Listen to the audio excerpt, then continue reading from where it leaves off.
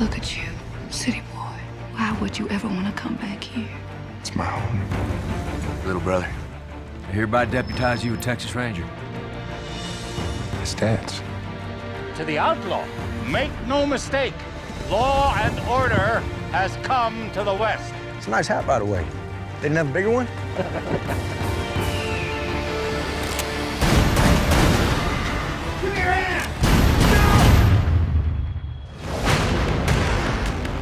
the great beyond, a vision told me the great warrior would help me on my quest.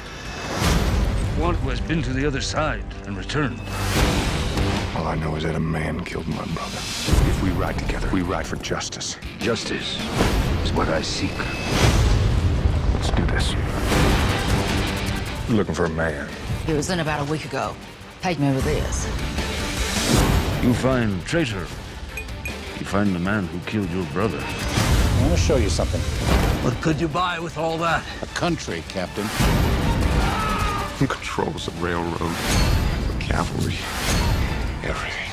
If these men represent the law, I'd rather be an outlaw. That is why you wear the mask. It was a ranger. Riding a white horse. Got some lunatic Indian with him. They're coming for you.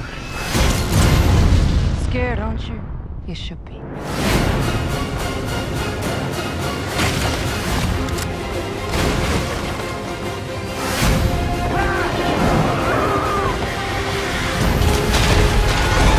two have a hard time staying dead.